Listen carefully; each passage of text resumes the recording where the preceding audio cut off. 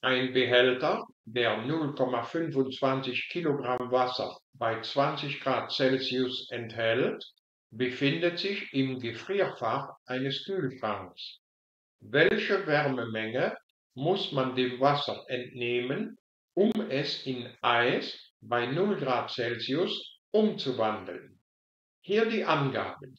Die Masse beträgt 0,25 Kilogramm.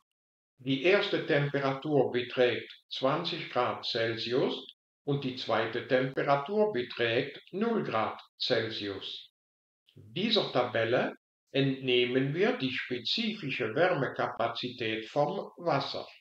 Das sind 4186 Joule pro Kilogramm Kelvin. Dieser Tabelle entnehmen wir die latente Schmelzwärme vom Wasser. Das sind 333.700 Joule pro Kilogramm. Gefragt wird hier eine Wärmemenge, die wir in Joule ausdrücken. Und um die herauszufinden, nutzen wir diese zwei Formeln.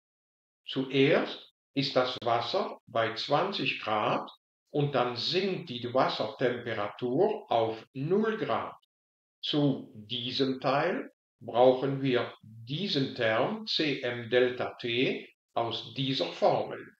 Hinterher, ab 0 Grad, wird das Wasser in Eis umgewandelt und für diese Umwandlung brauchen wir diesen Term aus dieser Formel.